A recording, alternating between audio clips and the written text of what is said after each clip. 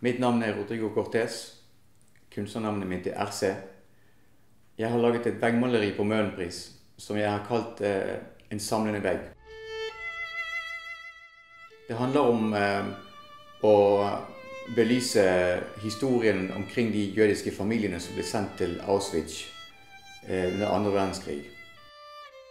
Jeg har tatt for meg spesielt én gutt som heter Oskar Müller.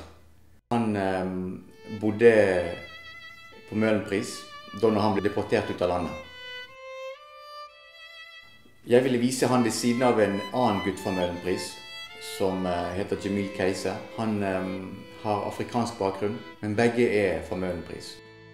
Jeg ville vise dem som venner. Belyse humaniteten deres. Og uh, gi noe til uh, nabolaget Møhlenpris.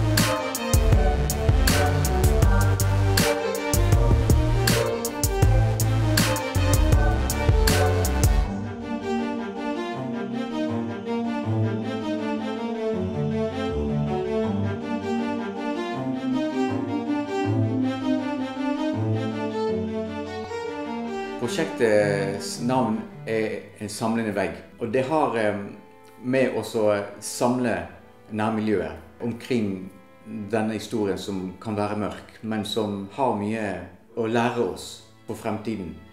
Noe som eh, mennesker kan se tilbake på, eh, reflektere over det på en positiv måte.